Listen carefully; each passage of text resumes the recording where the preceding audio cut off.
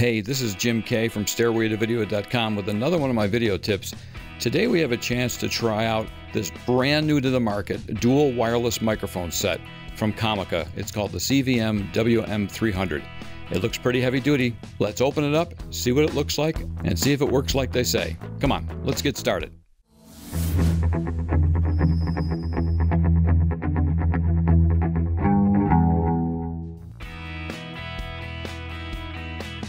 My set did not include the handheld wireless microphone shown on the box. The first thing you'll notice is a really nice Pelican style carry case. And it's nicely padded too. You get the manual, two transmitters, one receiver, two lavalier microphones, three belt clips, two dead cat windscreens, three cold shoe adapters, two USB charging cables, an XLR to 8th inch stereo cable, and an 8th inch to 8th inch stereo cable. The first thing I noticed about these Comica WM300 microphones is the fact that they uh, the fit and finish is just phenomenal on them. They're they're heavy. The uh, it's nice and smooth. As you can see, I've got the belt clip attached to these. Um, but boy, oh boy, it just feels great. So probably the first thing you want to do is to pull these plastic screen protectors off. Take that one off, that one off, and that one off. And let's do let's do this first. Let's let's weigh these. So I'm going to bring my scale over here. So this is the uh, this is the receiver. It weighs about 8.1 ounces or 230 grams. And here's the transmitter. 7.7 ounces or 217 grams. That's approximate. This isn't uh, the greatest scale in the world. So let's plug in the microphones. This one's already in. Let's plug this guy in.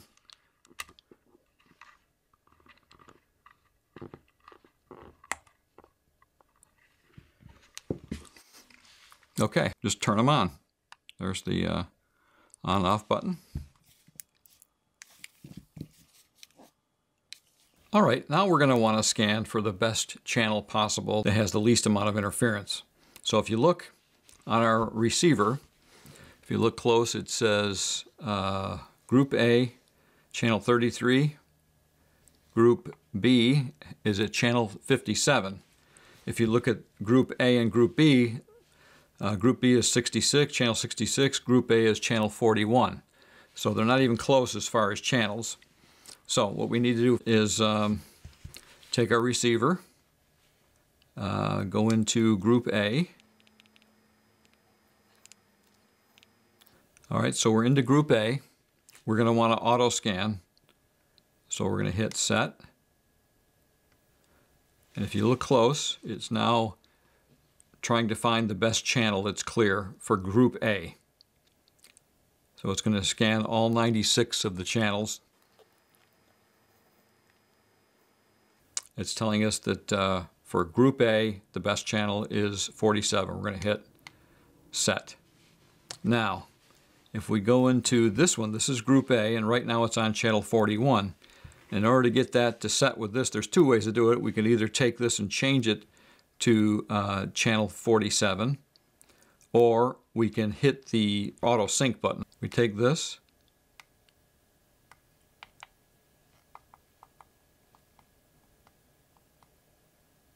Group A settings sync with transmitter. So we're going to hit set. Now it's going to sync. Now look at that going red. We want to point the IR, top of the IR button to this. Now you can tell that Group A, notice how it's not flashing anymore. Group A on both the transmitter and the receiver are now not flashing. They're solid green. So now we want to get into doing the same thing with Group B. So let's scroll down to so it says setting group A. We're going to select OK. We're going to change it to group B, set. So now we're in group B. Now we want to go and auto scan group B. All right, so this says channel 57 and group B is on channel 66. So let's hit set.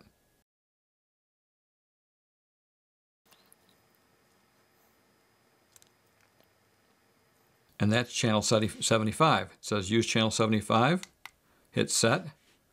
Now let's change it to group B setting, sync with transmitter. We're going to hit OK. Now, see how it's flashing red? We're going to let the IR, IRs scan with each other. Now that has turned to green. So now we're synced. We've got the correct channels for each transmitter and receiver. So that's how you set it up and uh, get the, correct channels that are the clearest on these three units. There are other settings too that you can uh, change on this unit. So for an example, I've got the microphone part here. Um, let's go in here. So you can you could go back, you could set factory default if you wanted to do that. You hit the set button, it changes everything back to factory default. I don't want to do that because I've got them set up right now. You can put on a, a low cut filter. So in other words, if I wanted to change uh, the microphone and set it to have a low cut filter on, low cut filter will get rid of any kind of rumbling or maybe even in a, in a guy, say chest or deep voice uh, rumblings, or if your air conditioning is on, it'll help to get rid of that. But uh, I don't want to do that at the moment so we're going to go back and take that off. Off. Um, I have chosen the microphone setting you can also have what's called uh, have a line in setting we're not going to change that oops change goes back after a little while mic input setting so if I want to do um, change it to a line in you can click that but we're going to leave it at mic. This is for your backlight. You can have the delay of the backlight. So I've got it set for 60 seconds. Um, you can set it for as little as, uh, I think it's 10 seconds. Or you can, if you have it off so there's no backlight, you can go as little as 10 seconds, 30, or 60. So we're going to leave it for 60. I've got it on 60 because I'm doing this video right now. Now RF power setting. So I've got it on low. And the reason I have it on low is because most everything I'm doing at the moment is going to be in my studio here, which is going to be no longer than six to 10 feet away. So what you could do is, if you were outside, um, you could set this to high. And high is good for, I figure what it is, you know, over 80 or 100 meters, something like that. But for what we're doing right now, we want that to be kept at low. And I've got the volume setting. Now, if I've got the mic here, notice that the gain on the bottom there is going up and down as I talk. So that's why it's it doesn't seem to be going super high, only when it, it peaks a little bit. But I've kept it on uh, volume 15. So we'll see how that sounds once I connect it to the uh, camera. And at the top, I don't know if you can see it, but there's a, a red IR button. That's what you do when you sync it to the uh, transmitter, to the receiver. The transmitter to the receiver, use those two IR IR windows that uh, that's how it's able to auto sync. If you want to be able to mute it, which I've, I've got it that way, so say your talent or the person wearing the microphone wanted to mute it and didn't want it to go into the camera or to be saved, you can just press this once, the red light comes on, and it is now muted. So let's shut that off. On the receiver end of it, um, we can go into, let's let me show you here. You can set this up so that you've got the output as mono, or you can change it to stereo. So then you'd have different sounds coming out of your left side speaker as opposed to your right side speaker. So if your channel A is set up, it would come out of your, say, left side, and if your channel B would go out of your right side. But for what I'm doing right now, I'm going to go back here and change, oh, oh it's already on mono. Okay, I thought I left it on stereo leave it on mono. The other thing I wanted to say too is the, the great thing about this, this has rechargeable batteries in it. And it's got a um, port on the bottom. You, you can either charge it through your, uh, I think it through your computer, or if you have a, um, a USB type of charger. And that's what these guys are that come, come with it. They're little charging cords so you can charge up your transmitters and your receiver. So let's plug it into the camera. Now slide the WM300 receiver into the hot shoe adapter on top of your digital SLR camera. Get that nice and tight. And now use this attached cable that comes with the WM300. Plug it into the output on the WM300, not in the uh, headphone in jack, or headphone out jack, I should say. And I'll take this and plug it into the mic port on the camera Now if you want to monitor something like with a set of headphones, say you have a set of headphones like this, you take that jack and plug it into the headphone jack right here. Bingo, you're ready to go. Right now, I've got the, uh, the transmitter A is the only one that's running right now, going through the uh, receiver. So I've got it set up for um, low power. So we've got low and high power. I also have the volume set to volume 12. And I figured out that you have to have the volume on both the receiver and the transmitter set to the same number. And then I do gain staging in the camera like I show in my other video. In fact, I'll show it right here. This is the uh, video where I did gain staging to show you how to gain stage a digital SLR camera.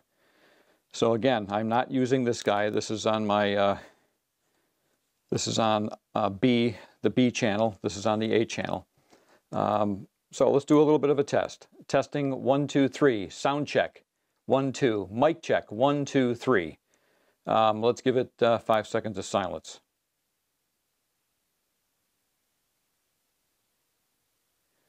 Okay, so we'll check, we'll go in and we'll check the sound off of this guy right now and see how it's doing.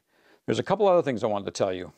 Um, one of one of the lavalier mics, so you get two lavalier mics along with these two transmitters.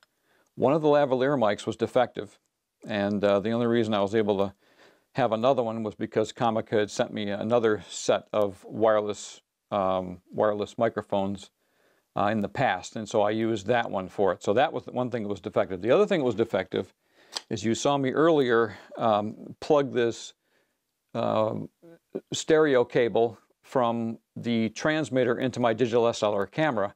And this is defective too, so I had to use my own stereo cable to get this uh, uh, plugged into and get it to work. So um, let's install this one, which is channel B, into the camera and see if we can get it to work in stereo.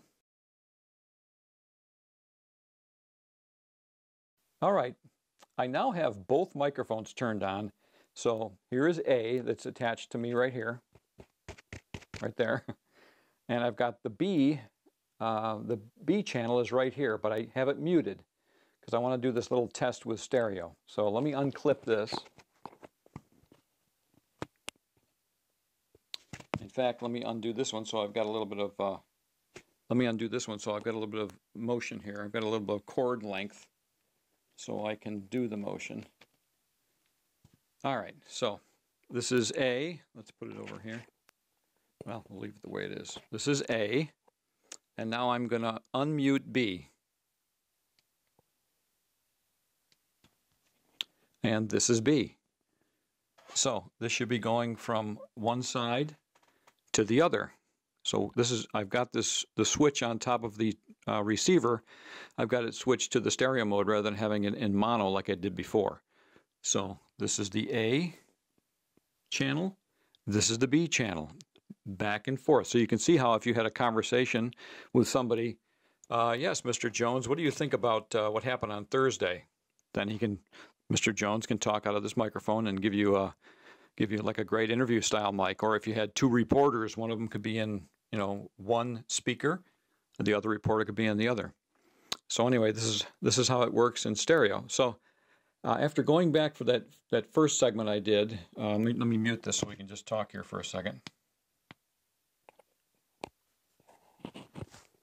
So after I went back to the first segment and um, listened to it and watched the video, I realized that uh, this didn't sound bad at all. It sounds really good, actually. Um, the only thing I did in post, I'm, I'm doing in post processing is I've raised the volume, I've, I've uh, enabled uh, what they call volume leveling so that the volume is up high enough so the gain is like a little bit higher so it sounds good on video. So that's about it. All right, so our, our next step is I want to take these outdoors and see what kind of range they have and how much interference they're going to give us. But so far, I'm pretty pleased. All right, today we're taking these WM300 microphones outside. We're at a distance of approximately 120 feet. I'm going to walk down to my assistant Bruce and we're going to do some talking in stereo mode. So there'll be voices coming out of the left and the right side speakers. Assistant Bruce here. watching my friend Jim pacing 120 feet to see if these stereo microphones perform as we hope they will. It's closing in now. Okay, I'm going to turn on this camera here. So we've got uh, evidence that you and I actually did this, Bruce. All right. So Bruce, we're 120 feet away.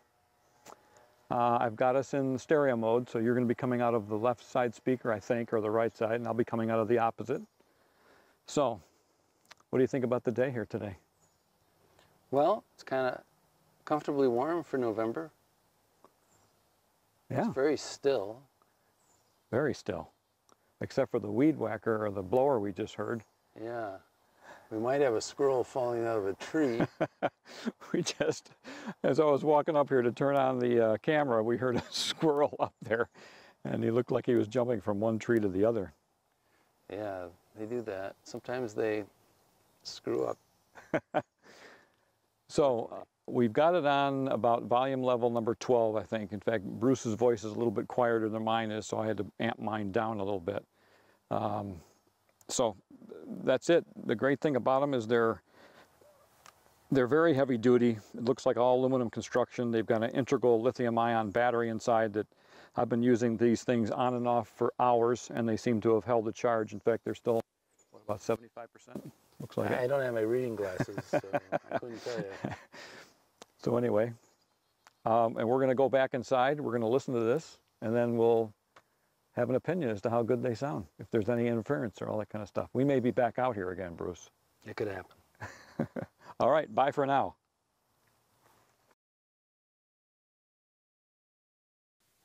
Well, after testing these microphones outside, like I did yesterday with my friend Bruce, um, I was really pleased with the sound. The sound quality was good. The way it mimicked our voices was really good. The only mistake I made, and I talked about it earlier, was I should have done the auto scan feature when we were out there. Now, Bruce's microphone seemed to work better than mine did. Mine, uh, when I was turning around or not facing the camera, you could hear where it cut out a little bit. So what I'm going to do is I'm going to go outside and I'm going to try this again by myself with my the same microphone that I did, channel A. And I'm going to do an auto scan first, and then I'm going to go out and do the range the range thing and see if uh, that makes any difference. But again, I'm very very pleased with the sound quality. Very pleased. It sounds great. So if we can just get that little glitch that uh, probably was my fault squared away, then uh, we may have some really good microphones here. So anyway, I'm going to head back outside again, and we're going to do this again by myself.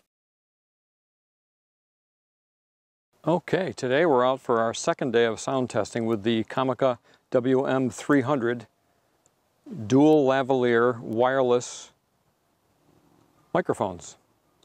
So I've got the receiver set up on my Canon 60D, as you can see right here. And then I'm going to be uh, heading down this way, walking to see how good our, uh, our distance works for sound. So what I did was I, um, I pre-scanned it. So I did an auto scan to get the right channel that wouldn't have the noise like I had yesterday, hopefully. And uh, let's see what happens. So here we go. Again, just like we said yesterday, we got about 120 feet down to this area here.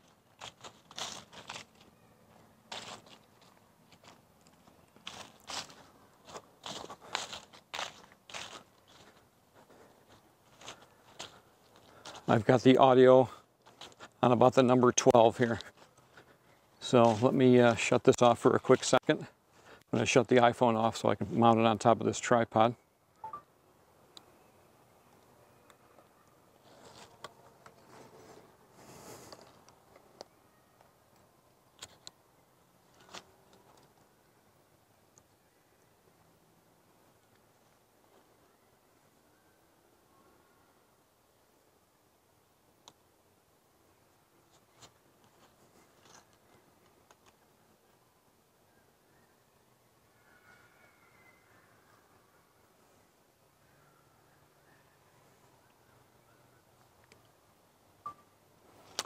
All right, video is running on the iPhone. And again, I'm about 120 feet away from where I was yesterday.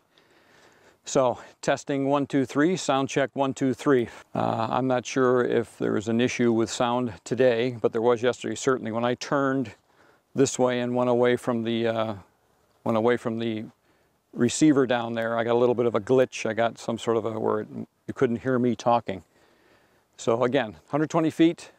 Um, I did the auto scan in the channels so that I've got, hopefully have a clearer sound with less interference. So let's go inside now and see how that sounds. Again, yesterday I had uh, pretty good results. It, it sounded really good. The sound was clear.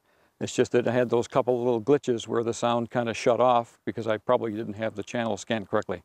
All right, let's go inside and check out these WM300s. Well, after running these microphones, this uh, WM300 dual lavalier microphone set, uh, through kind of a little barrage of testing, indoor and outdoor, I am thoroughly impressed with uh, the sound quality and what this thing can do. I had a little bit of glitchiness outside, even in my second part of the video that I did, but I, had, I forgot to turn the power setting on to high. I had it on low.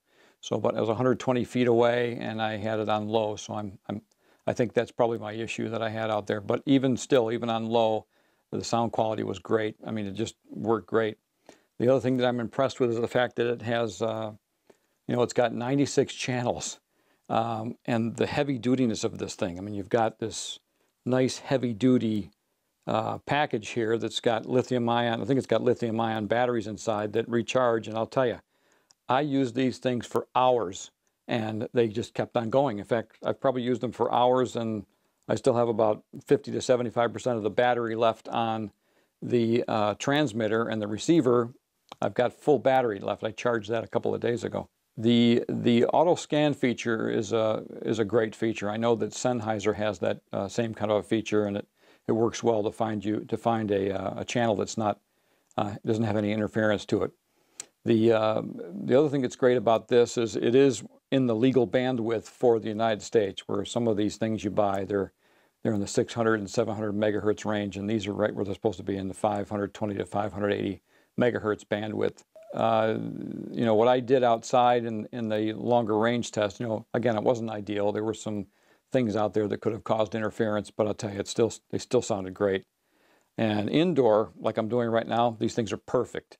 Um, they make great talking head uh, type microphones for what I'm doing right now. The other thing that was kind of interesting to me is uh, at first I was thinking, you know, these are about $479 on Amazon right now at the moment, at, at the date of this.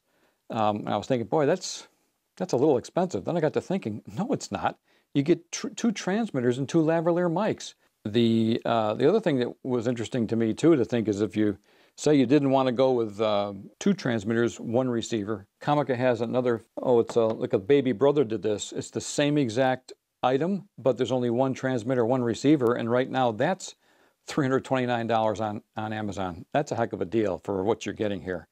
Uh, they've got, again, I talked about the long battery life. They're very, very quiet, especially in the setting I'm doing right here. So anyway, uh, I said all that to say that I highly recommend them. I've been really impressed with the quality of how they're made and the sound quality and all the features that I have. So anyway, thanks for listening to my video. Please, if you haven't already, please subscribe and give me a thumbs up. Have a great day. We'll see you next time.